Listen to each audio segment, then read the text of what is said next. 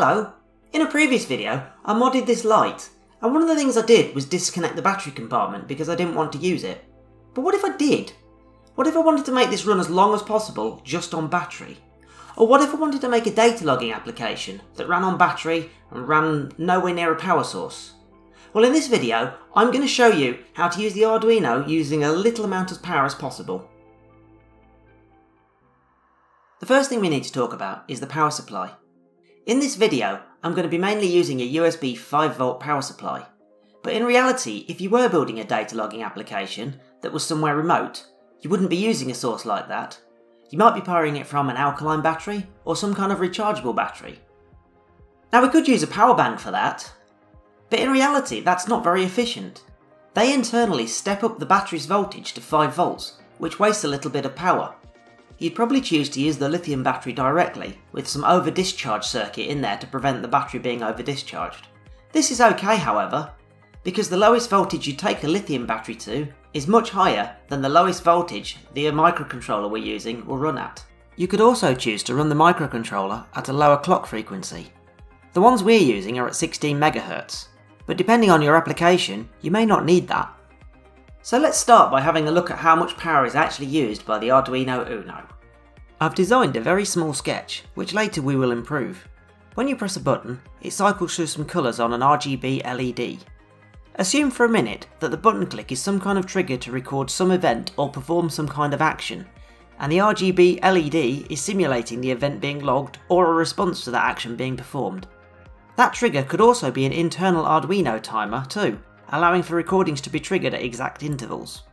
Now having uploaded this sketch to an Arduino Uno, we can see that when it's connected via the USB port, the Arduino Uno draws about 36 milliamps, and when we press the button, this jumps to about 63.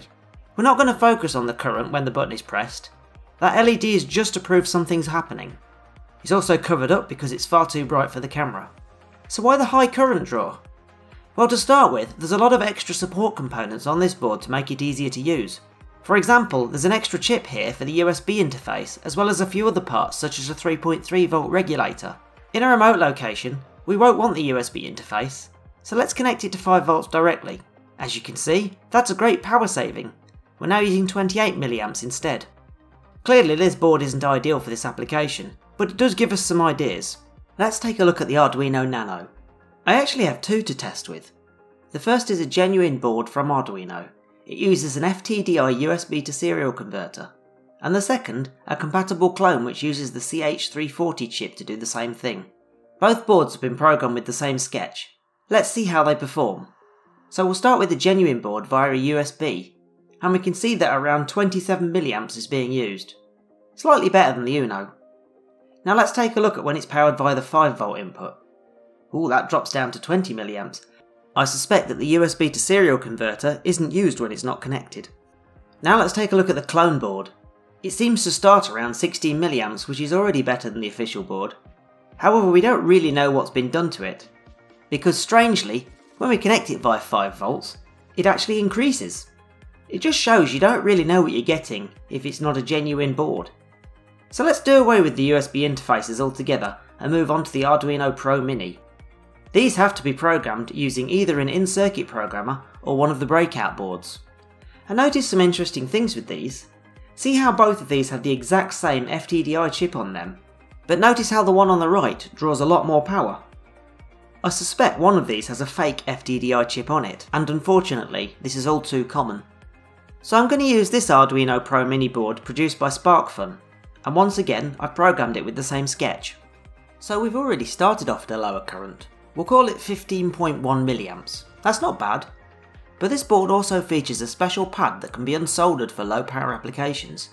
This disconnects the regulator and the LED from the circuit to reduce power further. This now really is a bare bones Arduino, and we're now down to 14.7 milliamps. The only other thing we can do is to reduce the input voltage and decrease the clock speed from 16 MHz. According to the datasheet, this could potentially drop us down to 1.5 milliamps. But can we improve on this? Simple answer, yes. We can make this much better. You may also notice on the datasheet it mentions a power down mode. Well what's that? Right now the Arduino is running at full speed, constantly executing the loop function. But what if there was a way to shut down the processor when it's not in use? Well there is. The ATmega 328 includes several power down modes with different levels of power saving. The one we're going to look at totally suspends our program running.